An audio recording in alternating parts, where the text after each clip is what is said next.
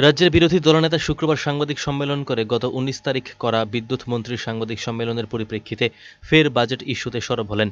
এদিন তিনি বিদ্যুৎ মন্ত্রীর উদ্দেশ্যে প্রশ্ন রাখেন, সে বিধানসভায় কেন তিনি এই তথ্য দেননি যে রাজ্যের একত্রিশ শতাংশ জনজাতির জন্য আটত্রিশ শতাংশের উপর বাজেটে বরাদ্দ রেখেছেন?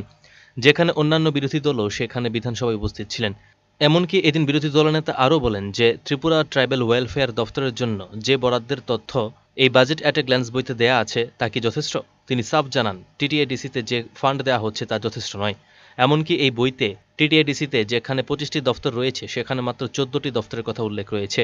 বাকি দফতরগুলোর জন্য কোনো টাকার উল্লেখ নেই কেন? এই প্রশ্ন তুলেন বিরোধী দলনেতা নিমেশ দেববর্মা। কেন রাজ্য সরকার মাত্র চোদ্দটি দফতরের কথা উল্লেখ করেছে? যেখানে টিটিএডিসিতে পঁচিশটি দফতর রয়েছে।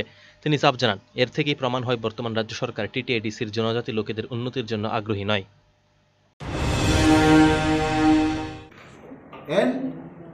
পরিশেষে এটাই বলব যে আমাদের টিটিএডিসিতে যে ফান্ডটা দেওয়া হচ্ছে this fund is not sufficient এখানে চোদ্দটা ডিপার্টমেন্টের কথা ওরা উল্লেখ করেছে, অথচ টিটিএডিসিতে twenty five departments R there there is no money for so many departments আমি এখানে সেই ডিপার্টমেন্টগুলোর কোনো উল্লেখ দেখি নাই।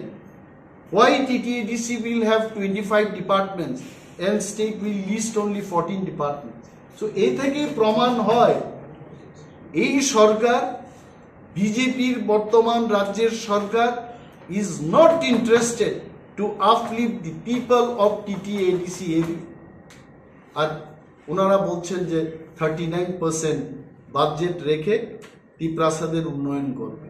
This is only they are talking they are not doing anything রাস্তার বেহাল অবস্থা দেখুক, পানীয় জলের অবস্থা দেখুক, তদন্ত হোক, একটা শ্বেতপত্র বেরিয়ে আসুক।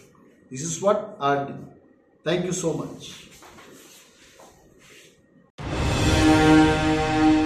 Video Report Search India TNN